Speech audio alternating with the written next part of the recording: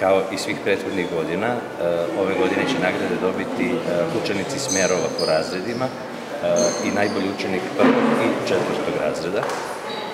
Nagrade će takođe dobiti i takmičari koji su osvojili jednu od prve tri nagrade ili jedno od prve tri mesta na državnim takmičenjima iz svih oblasti kojima su se takmičili ove godine.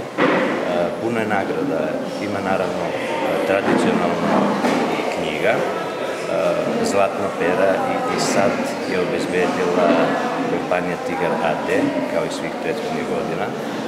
Novčane nagrade su od fondacije Gimnazije Pirot, koja se finansira, odnosno koja dobije uplate upravo od generacija koje su proslavile jubilarne godine od mature, 30, 40, 50, 55 i tako dalje. Zatim deo nagrada je i od Đačkog i jedan deo nagrada je i od grada Pirota. Predviđeno naravno da za ovu godinu imamo i nagrade, odnosno sredstva za nagrade od gradske uprave Pirot.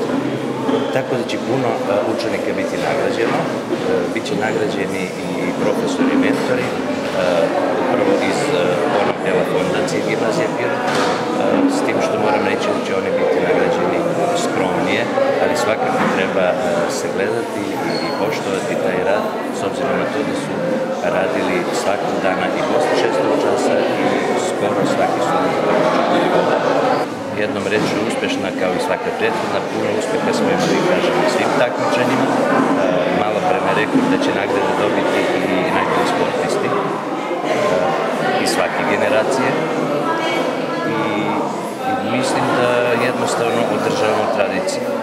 Kao što smo već više puta napomenuli,